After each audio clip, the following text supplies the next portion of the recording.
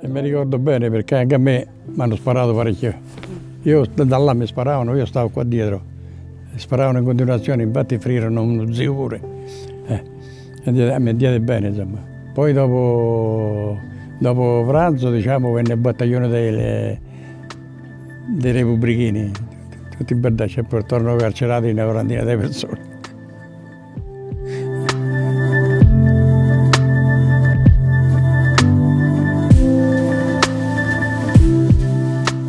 Tutti salirono in montagna a fare la guerra partigiana. Arrivarono anche altri, ma non tutti salirono in montagna come fecero Gaetano di Blasi e Orazio Costorella. Hanno sacrificato la loro vita per la libertà delle nostre zone.